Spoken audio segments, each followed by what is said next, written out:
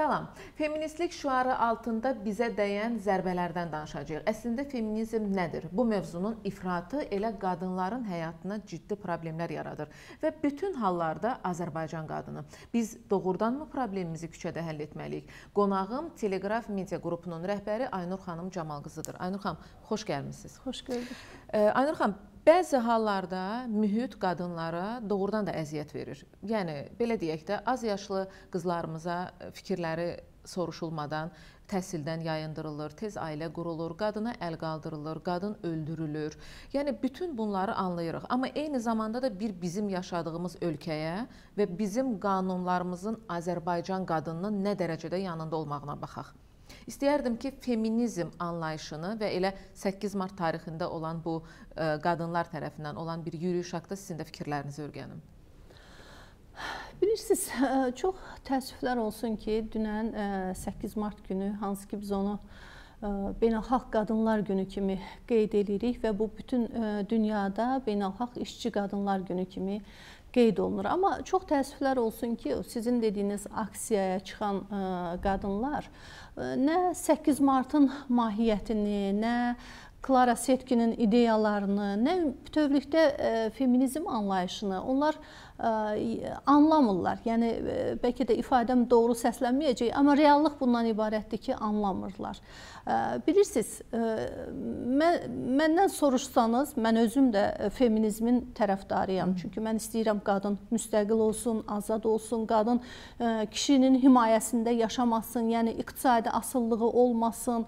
Yəni qadın güclü olsun. Çünki bilirsiniz, cəmiyyətdə qadınla kişinin bərabərliyi olmayanda, yəni qadın zəif olub kişi güclü olanda bu bütövlükdə cəmiyyətin də, dövlətin də inkişafına mənfi təsir göstərir. Ona görə də qadın nə qədər güclü olursa, bu dövlətin də güclü olmağı deməkdir, bu cəmiyyətin də güclü olmağı deməkdir. Amma məsələ burasındadır ki, feminizm nə deməkdir? Buna kör-köranə qoşulmaq, bundan bir şou düzənləmək, yəni problem ondadır ki, bu xanımlar, bu qadınlar, bizim o gənc qızlarımız bunun mahiyyətini bilmirlər.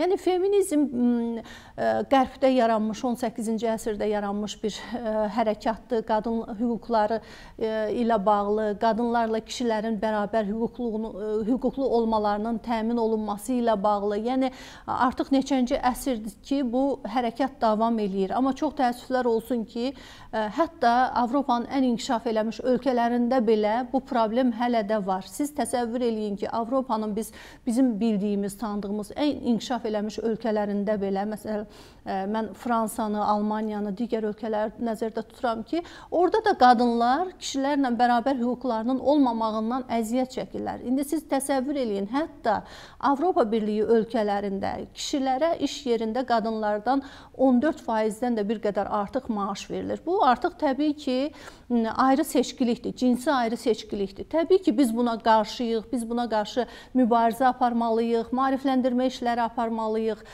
Bütövlükdə götürəndə dövlətimiz bizim bu yöndəki qanunları sırf ə, e, belə deyək, qadınların tərəfində olan, qadınların hüququnu tanıyan, ə, e, qadınlara dəstək olacaq qanunlardır. Məsələn, bizdə gender bərabərliyi haqqında qanun var ki, o qanunun bütün ə, müddəaları ə, belə deyək də qadının ə, hüquqlarını qoruyur. Qadına dəstəkdir, qadının iş yerində, təhsildə, ailədə, məişətdə hüquqlarının təminatı üçün belə deyək də əsaslı belə deyək e, rola malikdir. Amma söhbət gedir e, cəhalətdən, bilirsiniz? Birinci növbədə hər bir insan, istər qadın olsun, istər kişi olsun, o savadlı olmalıdır. Mən hələ Təbii. intellekti bir kənara qoyuram. Gəlin ə, e, savaddan danışaq. Azərbaycan qanunvericiliyinə görə ə, hər bir ə, belə deyək də, ə, hər bir gənc, hər bir uşaq 12 illik təhsil almalıdır. Mən orta təhsili nəzərdə tuturam və bu icbari təhsildir. Yəni dövlət məcbur eləyir ki, sən mütləq orta təhsilini al, sən yazmağı, oxumağı ən azı bil. Sonra təhsilini davam etdirəcəksən, etdirməyəcəksən, bu sənin öz işindir. Amma ən azı doğru yazıb e, oxumağı öyrənməlisən. Məsələn, mən dünən ki o, o aksiyadan yayılmış plakatları gördüm. Bəli. Elnarə xanım sosial şəbəkələrdə təbii ki, hamımız gördük. Mən orada nəyi gördüm? Baxın, sizə bir nümunə çəkəcəm. E, deməli, e, bir qızın əlində belə bir plakat var. Biz azadlıq istəyirik istəyirik yox ha. Yəni bu sözün Hətta yazılışını yazılışı bilmir. belə Yazılışını belə bilmir. İstəmək yoxsa istəmək bu- bunu bilmir və adam ə, azadlıq tələb eləyir. Ə, Sonra gələk məsələnin intellektual müstəvisinə. Baxın, ə, başqa bir plakatı misal çəkəcəm.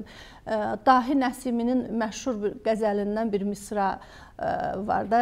Bu bizim mən düşünürəm ki, bizim fəlsəfə tariximizdə, ümumiyyətlə ictimai siyasi fikir tariximizdə insana, insanlığa, qadına verilən ən yüksək münasibətdir də. Səni bu hüsnü camal ilə, bu kəmal ilə görüb qorxdular haqq deməyə, döndülər insan dedilər. Onlar bunu necə eybəcər bir formada çevirib, e, Yəni gözəl olanı da çevirib, Bəli, çirkinləşdirmək. çirkinləşdirmək, yəni mahiyyəti anlamamaq. e, e, Yəni e, bunu demək istəyirəm. Yəni Əslində düşünürəm ki. Aynur xanım, bu elə qadınların, dünənki qadınlardan Bəli. söhbət gedir. Təbii ki, ümumi Azərbaycan qadınlarından söhbət getmir.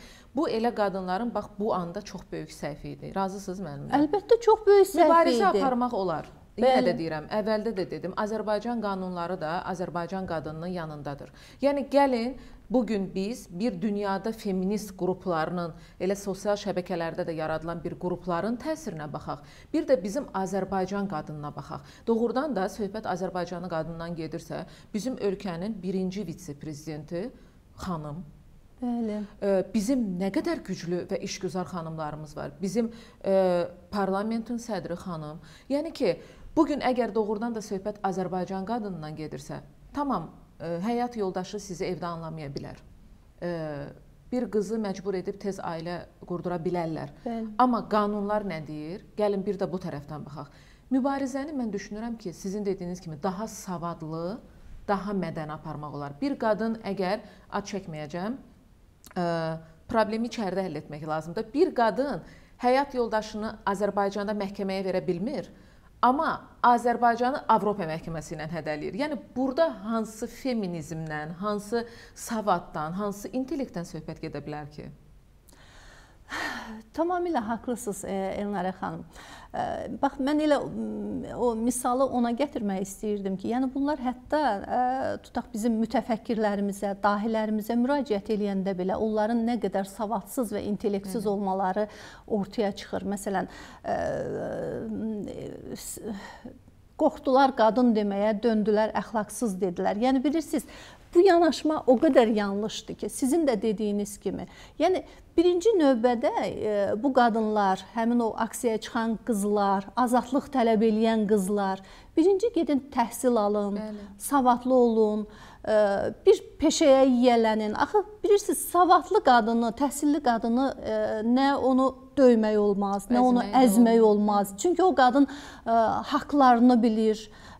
Bir ailədə sən əzilirsənsə, bunun sivil yolları var da, ayrılmaq və yaxud da nə bilim gedib yəni çox şeydə Doğrudanmı yol, Azərbaycan yolları çoxdur. Yəni Problemi evdə həll etməkdənsə küçədə, küçədə axı qadının hansı problemi həll ola bilər? Bilirsiniz, mən yenə demək istəyirəm, bu həm cəhalətin problemidir, həm də ki, ə, şou yaradırlar. Yəni Bəli. sizi inandırıram ki, onlar o, qızlar, o qadınlar hansısa qüvvələrin təsiri altındadılar. Mən bunu əminliklə sizə deyirəm. Çünki yenə deyirəm, onlar heç nə istədiklərinin fərqində deyillər. Baxın, mən o qızlara ə, ə, düşünürəm ki, tutaq deyə, deyək ki, sizə azadlıq veririk. Hətta inanın ki, o azadlıq belə onların zərəri nədir? Çünki o azadlıqda onlar özlərini necə, necə idarə edəcəklər? onlar ki, hansı bir hansı işin qulpundan qüvvələr yaşaya- onlardan istifadə edir. yapışacaqlar, bəli. Yəni siz azadlıq istəyirsiniz, amma o azadlığı necə təsəvvür eləyirsiniz? Biz bunu onlardan soruşsaq, inanın ki, cavab verə bilməyəcəklər. Məsələn, elə keçən ilki aksiyada onların ə, plakatları sizin yadınızdadır. Yəni o qədər çox. ə, etikadan uzaq, Bəli. dilə gətirilməsi mümkün olmayan ifadələr vardı ki, axı Azərbaycan qadınını biz belə təsəvvür eləmirik. Yəni Azərbaycan ailələrində həmişə qız uşaqlarına daha böyük diqqət olub, yəni böyük əksəriyyət. Yəni mən demirəm ki, bizdə problem yoxdur, bizdə məişət zorakılığı yoxdur. Sizin də dediyiniz kimi qızların az yaşlı nigaha cəlb edilməsi e, var, təhsildən e, uzaqlaşdırılması var. Çox təəssüflər olsun ki, bizim bəzi bölgələrimizdə, bəzi kəndlərimizdə bax bu problemlər yaşanır. E, Yəni elə valideynlər var ki, onlar düşünürlər ki, az yaşlı qızını tutaq da ərə versə o problemlərdən yaxa qurtarmış olur, amma yükü azalır. Yükü azalır, amma başa düşmürlər ki, problem daha böyük şəkildə onların üstünə qayıdır gec-tez. Bir də ki, yəni, Aynur xanım, bir də üzr istəyirəm. Biz misal üçün gəlin Amerikaya, Avropaya bu feminist qrupların böyük olduğu bir ölkələrə nəzər salaq. Deməli, statistikalarla araşdırırıq ki, bu ölkələrdə hardakı feministlər qrupları böyükdür. Bu ölkələrdə nigah azdır, boşanmaların sayı çoxdur və ən əsası qadınların ana olmaq sayı azdır. Görün əslində yanlış ifrat feminizm qadının elə özünə ən böyük zərbəni vurur. Tamamilə haqlısınız. Baxın, Avropa ölkələrində ə, intiharların sayı ə, ən yüksək həddədir. Yəni mütəxəssislər, psixoloqlar bunu araşdıranda bununla əlaqə əlaqələndirirlər ki, daha çox, yəni böyük böyük kəsimdə bu belədir ki, onlar daha çox tənhalıqdan, yəni bu yolu seçirlər, depressiv, depressiv hmm. durumdan. Yəni Azərbaycan ailələrində bizim belə deyək də o mentalitetimizdən, milli mənəvi dəyərlərimizdən, adət-ənənələrimizdən irəli gələn bir formalaşmış ailə institutu var və bu biz bunu əsrlərdir ki, bu ailə institutunu qoruyub saxlayırıq və mən düşünürəm ki, bundan imtina eləmək olmaz. Yəni bunu qadın azadlığı ilə bir tərəziyə qoymaq olmaz.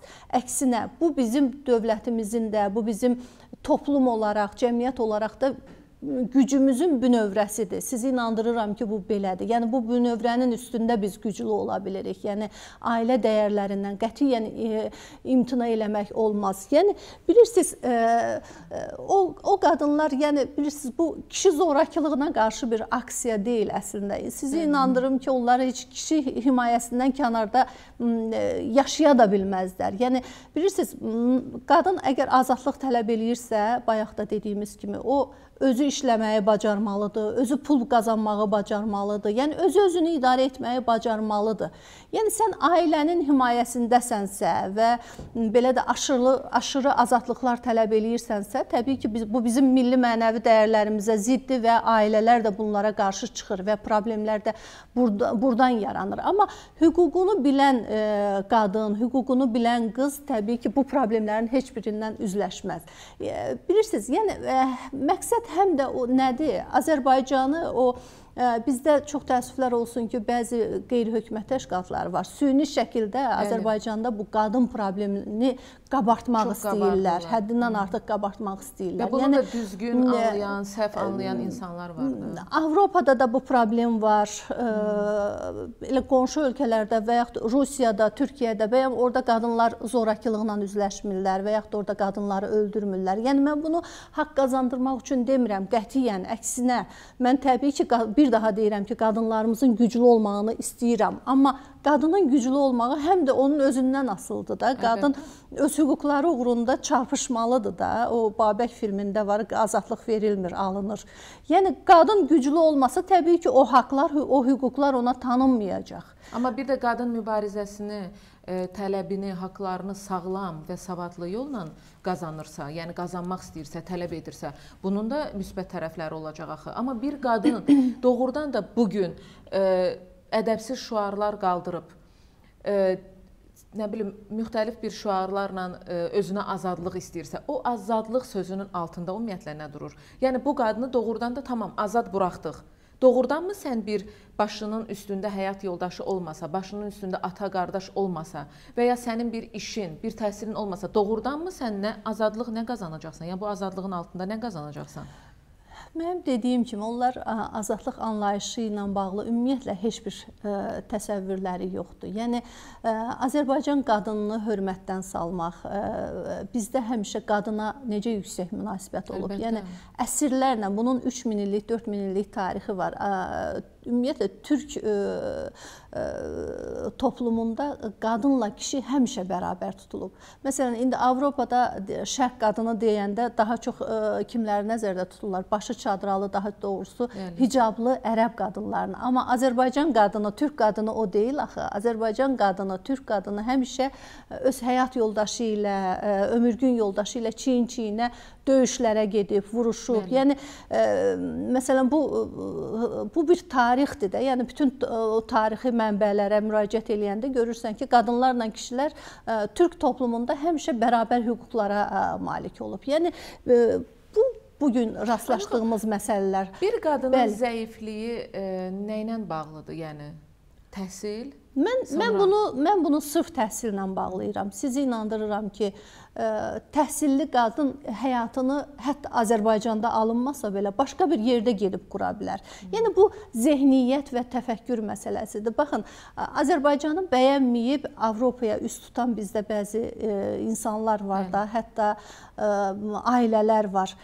Sizin o bayaqki misalınıza gətirmək istəyirəm. Deyirsiniz ki, burada öz hüquqları ilə bağlı polisə müraciət eləyə bilmir, amma Avropa məhkəməsinə müraciət eləməkdən dəm vurur. Yəni o qədər belə ziddiyyət təşkil edən məsələlər var ki, yəni Azərbaycanı bəyənməyib gedib Avropa ölkəsində öz həyat yoldaşına qarşı zorakılıq eləyən mən onlarla sizə misallar deyə bilərəm. Polis tərəfindən saxlanılan, həbs olunan. Yəni bu təfəkkür məsələsidir də, bu ölkə məsələsi deyil, bu qanunların məsələsi deyil, hüquq məsələsi deyil. Bu sizin təfəkkürünüzün, aldığınız tərbiyənin nəticəsidir. Yəni bilirsiniz, yəni bu insanlar sözün həqiqi həqiqi mənasında azad olsalar və yaxud azadlıq istəsələr, o qüvvələrin hansı ki, Azərbaycan qadınını gözdən salmaq istəyən qüvvələrin təsiri altına bu qədər asanlıqla düşə bilməzdilər axı.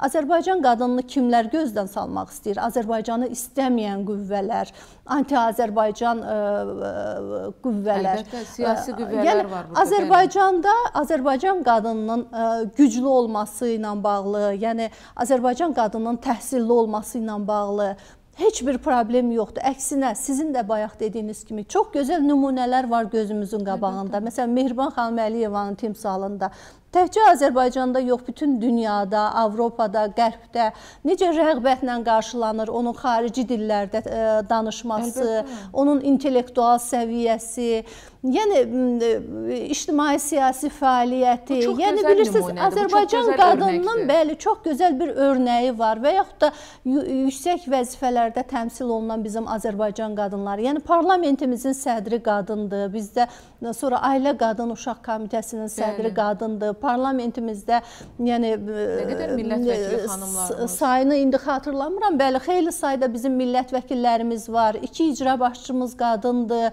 Demək olar ki, bütün icra hakimiyyətlərində müavinlərdən biri və ya ikisi qadındır. Yəni sonra biznes sahəsində bizim nə qədər belə deyək də uğurlu bir iş ortaya qoyan, fəaliyyət ortaya qoyan qadınlarımız var. Media bəlkə də, sahəsində bəlkə də 10 bəli, kişinin yükünü daşıyacaq bəli, qədər bəli. çiyinlər üzərinə alıb, yəni bu yükü tək daşıyan xanımlarımız bəli, var Bəli, bəli, tamamilə haqlısınız. Sonra e, təhsil sahəsində, məsələn, təhsildə siz yəqin ki, bilirsiniz də, bizim müəllimlərin 80%-dən artığı qadındır. Onların bir xeyli e, belə deyək, böyük bir hissəsi, məsələn, bu Bakıda daha çox e, rəqəm olaraq daha yüksək bir rəqəmdir göstərici. Təxminən 3də 2-si orta məktəb direktorlarının qadındır. Yəni bilirsiniz, qadının inkişaf eləməsi üçün də, qadının belə deyək də o özünü realizə etməsi üçün də hər cür imkanlar var. Mən Demirəm ki, hər şey tamamilə çox gözəldir, hər şey yüksək səviyyədədir, qadınlarla bağlı problemlər yoxdur.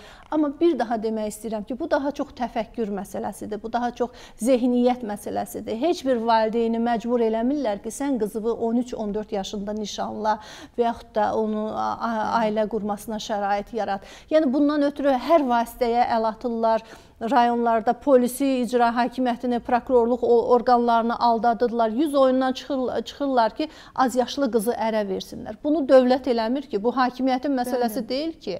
Bu təfəkkür məsələsidir, bu cəhalət məsələsidir. Yəni bunun qarşısını almağın yolları ə, e, təbii ki, hər kəs bunu düşünür. Daha çox maarifləndirməkdən keçir, daha çox bilirsiniz, bu təhsillə bağlı, xüsusən də qızların təhsili ilə bağlı maarifləndirmə işlərinin daha da artırılmasına mən ə, üstünlük vermək istəyirəm. Yəni heç nə ilə ittiham eləmək olmaz. Əksinə Bu problemi gəlin müzakirə eləyək, çıxış yollarını axtaraq da.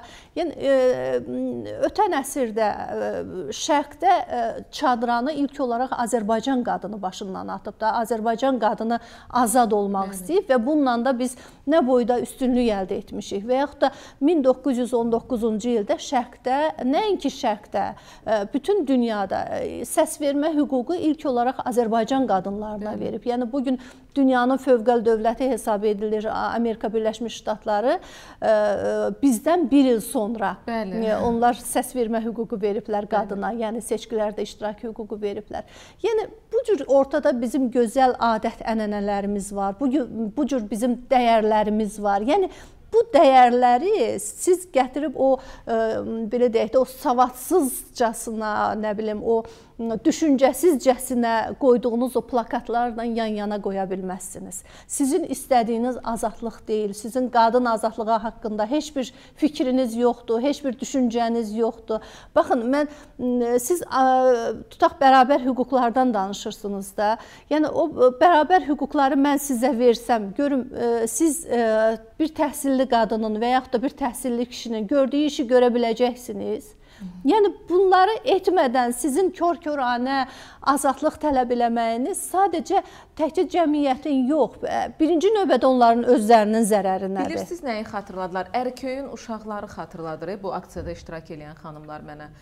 Doğrudan da evdə bir ərköyün uşaq olur, hamı yığılır, ona bir yol göstərmək istəyir, amma uşaq yenə də öz bildiyini eləyir. Və təbii ki, mən çox üzülürəm ki, burada bir məqam var idi ki, bizim, e, yəni ötən ildə bunu görmüşdüm, e, bu ildə 8 martda bu yürüyüşü gördüm.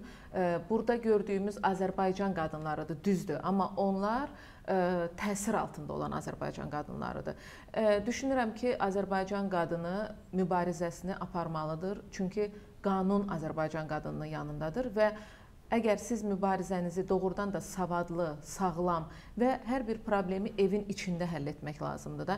Əgər evin içində problem həll olunmursa, o zaman qanuna sığınmaq lazımdır. Mən düşünürəm ki, mübarizəni bu cür aparsaq, Azərbaycan qadınının nüfuzuna da zərər gəlməz. Mən təşəkkür edirəm Aynur xanım gəldiyiniz üçün. Sağ olun, salamat qalın. Təşəkkür edirəm izlədiyiniz üçün.